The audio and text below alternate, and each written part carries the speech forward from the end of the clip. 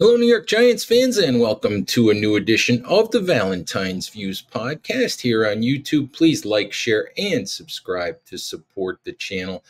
Your Giants open the uh, the regular season on Sunday against the Minnesota Vikings, and I thought we would uh, we would go through five matchups to watch on Sunday as the, the Giants, who are one and a half point underdogs per SB Nation partner FanDuel, uh, try to get the season off to a good start as they celebrate their their 100th season of competition in the NFL. Be an emotional day. Lots of uh, Giants greats in the building as the Giants celebrate their top 100 players of all time. Lots of lots of ceremony to uh, to mark the the hundredth season as an NFL team. So the uh, the last thing you want for the New York Giants is for them to uh, to put together a Week One stinker uh, and sort of uh, and sort of ruin the party. So we'll, we'll cross our fingers and we'll hope that it's a good day for your New York Giants. And let's go through five matchups that could be critical to uh, to Sunday's outcome. The first one that I jotted down here in my notebook is uh, Giants cornerback Deonte Banks against Minnesota Vikings superstar wide receiver Justin Jefferson. Jefferson common, commonly acknowledged as the best wide receiver in the game, which is saying a lot with with guys like uh, guys like Ja'Marr Chase and, and, and several others in the league right now. But uh, Jefferson acknowledged as, as, the number one guy, uh, had 1,800 receiving yards on 128 receptions in uh, in 2022. Uh, last year, when he only played in 10 games due to injury, Jefferson still topped a thousand yards, getting just over a thousand yards on 68 catches in those 10 games. So Jefferson, as Giants fans know, you know we, we've seen the Giants play against against the Vikings before. Giants fans are, are well aware of how good Justin Jefferson is, and the question all along, you know, for the Giants when they look at the secondary, they drafted Tay Banks, traded up to in the tail end of of the first round in 2023. They drafted Tay Banks out of the University of Maryland, hoping that Banks would become their number one guy, would become a shutdown corner, would become a, a top tier guy at the position. And you know, Banks had an had an up and down rookie year, showed some flashes. The question at this point is is Tay Banks really ready for the responsibility of whenever the Giants are playing man to man defense? Is he ready for the responsibility of going up week in and week out against the Justin Jeffersons, the CeeDee Lambs, uh, the the Stefon Diggs of of the world? Is he ready, you know, for for going up against those top tier guys? The Giants will see the Cincinnati Bengals later in the season. I've had the opportunity to talk to Banks a number of times. This is an incredibly talented young man with incredible physical traits. You look at his uh, relative athletic score and it's it's top of the charts for for cornerbacks you know who uh, who have have been graded you know in uh, in relative athletic score or in the mock draftable spider charts. It's it's top of the charts. The athleticism is outstanding. The ability is outstanding. Banks is a confident confident player. You know, he said this week he was really looking forward to the challenge, said he was born for for this. The question is, is he ready for it? I'm not quite sure that that he is. Uh, I we haven't seen it. We saw him play a little bit against number one wide receivers, you know, as a rookie in 2023. And if memory serves, it, it didn't always go well. I think that Tay Banks is a good player at this point. I would feel really, really good about the cornerback situation if Tay Banks was cornerback two. If there was a veteran corner who was cornerback one, you know, and and and was and had been a shutdown guy or had been a number one corner for several years, and even having re-signed Adoree Jackson, uh, the Giants don't have that. We'll see. You know, Banks. We'll see if Banks is up to to the to the responsibility. Um, as I said, he's a confident guy. He has ability.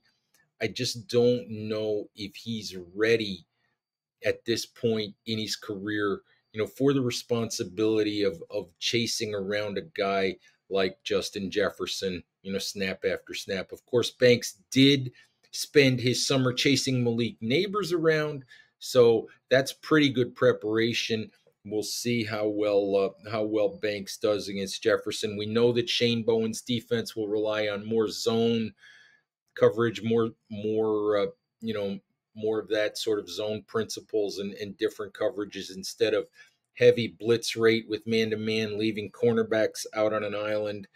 But even within zones, there are individual matchups, and whenever the Giants are in man to man, I think you can expect Banks to to be on Jefferson, and, uh, and and we'll see how that goes. Second matchup that that's on my mind is really the uh, the New York Giants offensive line, the much discussed offensive line against the Minnesota front seven, and really against the uh, the, the maniacal mind of Minnesota defensive coordinator Brian Flores.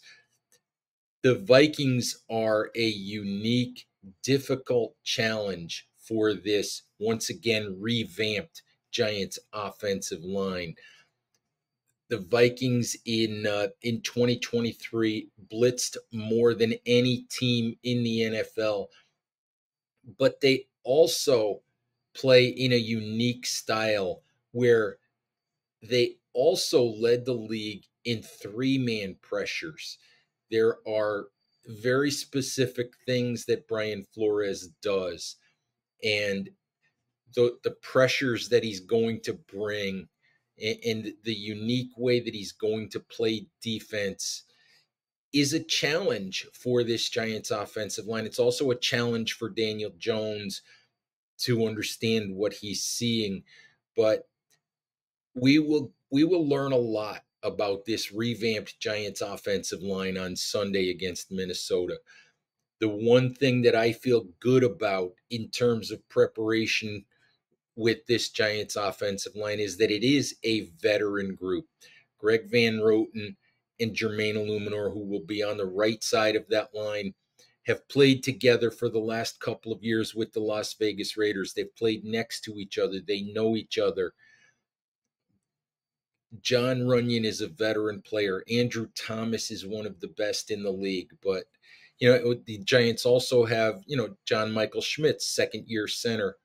But the concern, of course, is that because of injuries, because of shuffling, this offensive line didn't begin to practice together until last week, until the preseason was over. The, the comforting thing with this group is that they are all, with the exception of John Michael Schmitz, these are all veteran players. These are all guys who have seen, you know, they've they've seen all the tricks, they've seen the blitz packages, they understand you know the rules that they're going to be using in, in trying to protect Jones.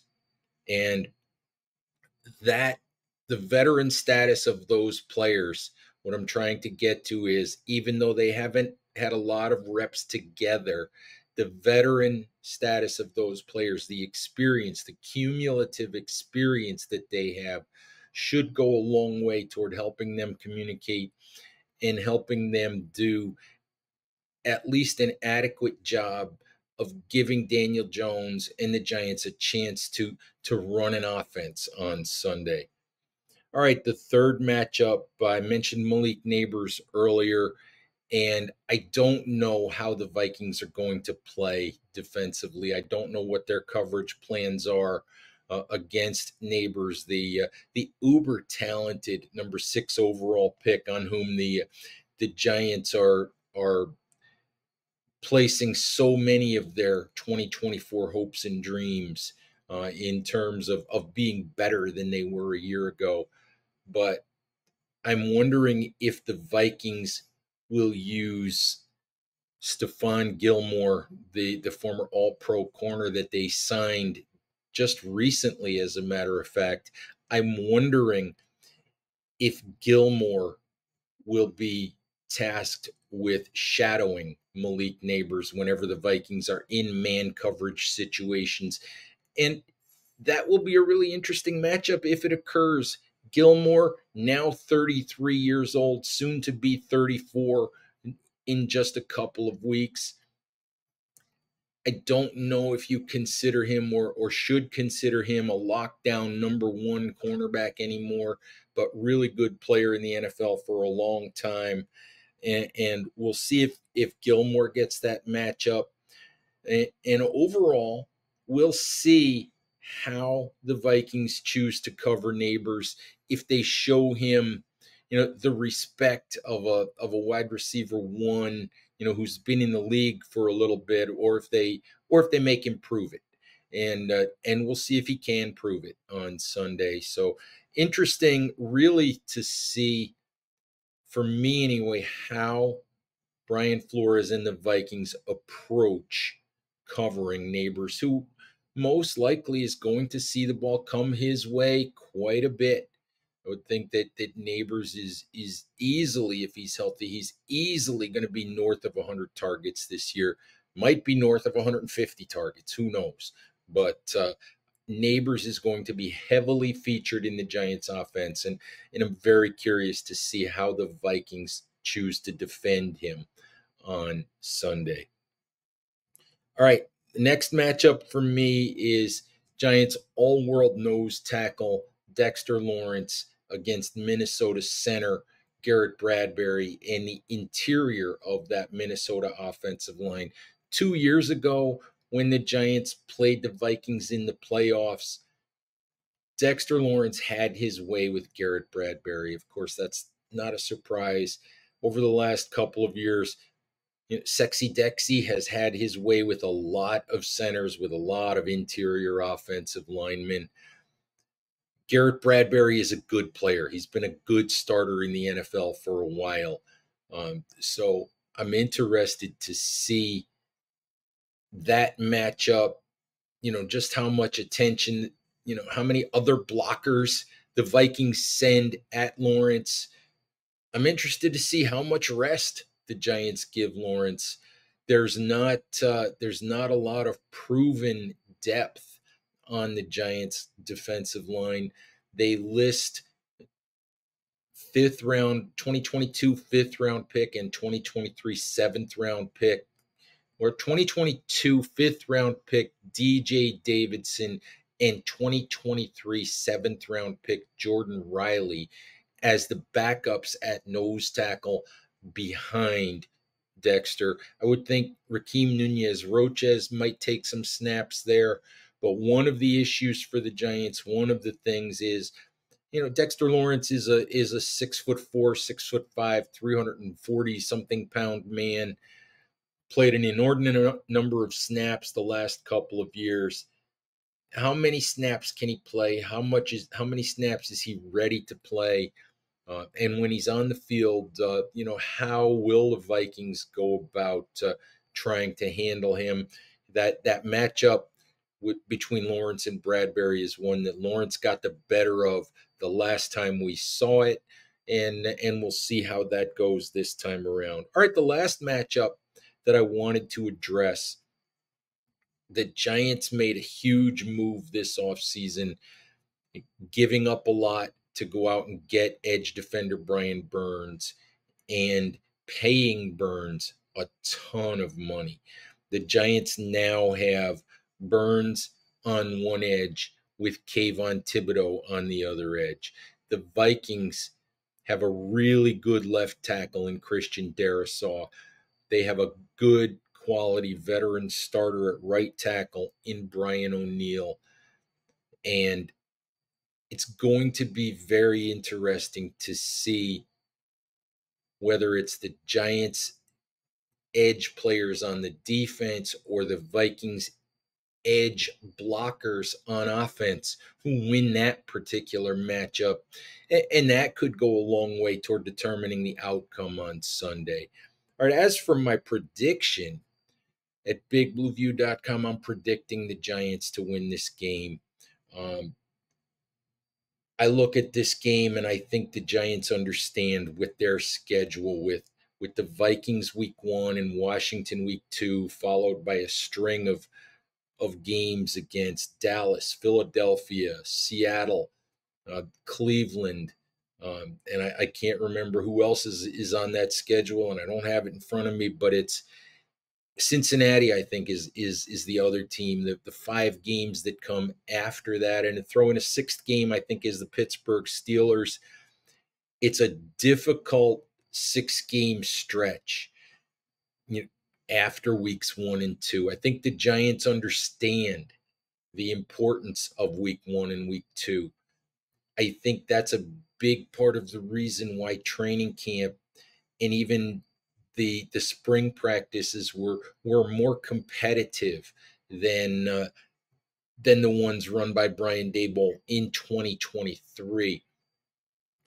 It's also going to be an emotional day filled with festivities for the Giants because of the 100th the 100th anniversary celebration because they'll be honoring their top 100 players of all time. So I don't know if you consider that pressure or not, but there should be there, there there should be kind of a festive atmosphere in MetLife Stadium and obviously the Giants don't want to. Uh, you'd hope they don't wreck that. You'd hope they don't, you know, put a damper on it. And also, the Giants fully understand that the the one and five and eventually two and eight start that they got off to a year ago is something that can't happen again. And the best way to prevent that is to win to win week one, to get the season off to a good start. I simply think, I mean, to, for me, this is a toss up game. You know, Sam Darnold is a journeyman quarterback at this point in his career. A lot of people think Daniel Jones should be a journeyman quarterback at this point in his career. Jones has a lot to prove.